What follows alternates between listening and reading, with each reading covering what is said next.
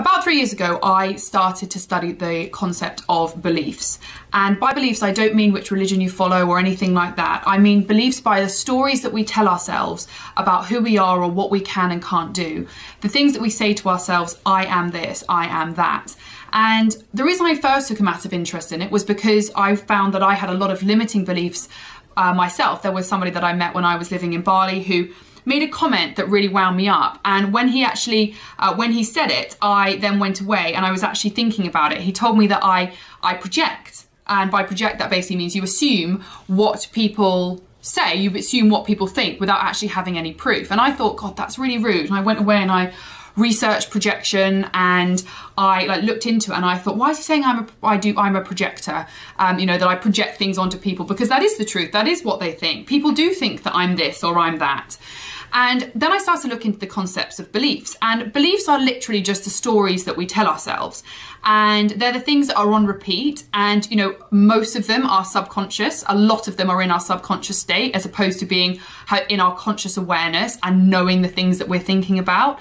And our beliefs really frame the world that we see and, you know, the way that we experience the world that's around us. So if you think about some of the things that you might naturally say about yourself, you know, I'm shy, I'm not good at this, you know, I'm I'm good at this, I'm this, I'm that, I'm not this, you know, you can have a think about what it is, you know, what what are the some of the things that you're saying about yourself, some of the limiting beliefs that you might have. And what I've learned uh, from studying coaching, and I'm currently going through a coaching diploma, is what we can do with limiting beliefs is actually we can flip them and turn them into empowering beliefs. Now, empowering beliefs are the opposite of our limiting beliefs. So instead of telling your, ourselves I'm shy, telling telling ourselves that you know the opposite of that would be I'm confident, and essentially building a plan to transition you from feeling shy to feeling confident, and things that you can tell yourself every day while you're on that journey to moving to feeling more confident than shy.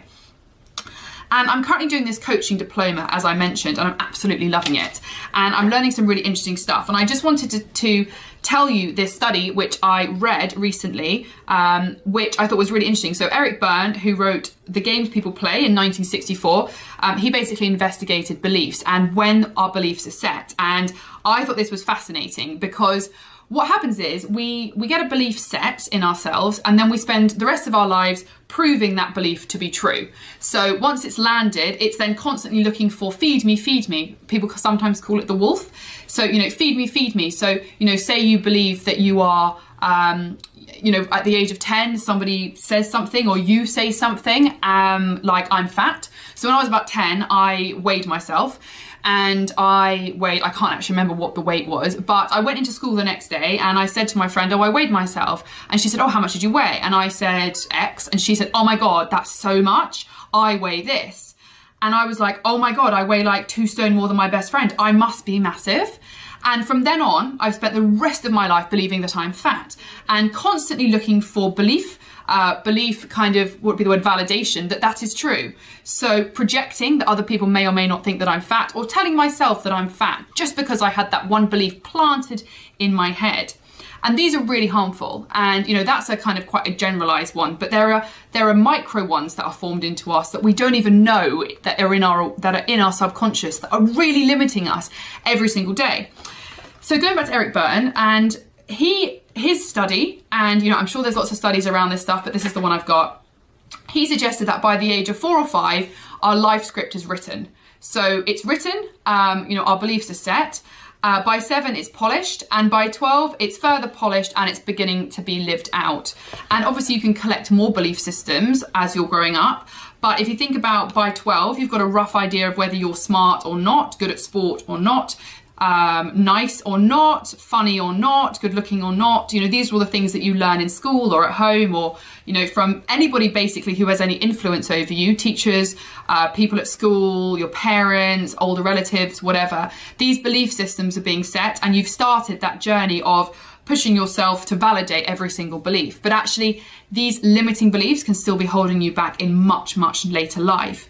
And part of the reason I take such an interest in this is because you know what my job is what our, you know what powerful leaders does is helping people to share their message to build their brand online to go out as themselves um, in, in exactly who they are, to share their vulnerabilities, to share their real stories, and build their brands and share their message. And obviously, when you're going to do that, a lot of beliefs come up, negative beliefs often. And what I do with my clients and why I'm going through this training program is essentially to help them to change those limiting beliefs into empowering beliefs so that they can essentially uh, live the life that they really, really want to live.